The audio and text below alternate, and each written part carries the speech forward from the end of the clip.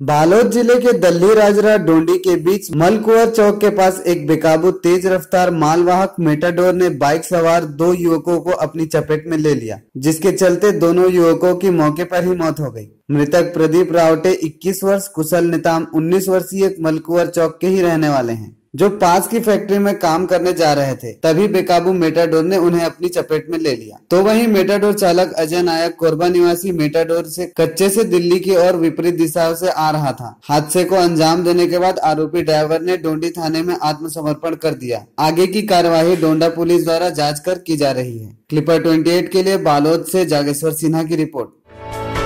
For more news updates, do subscribe, like, share and comment. Clipper 28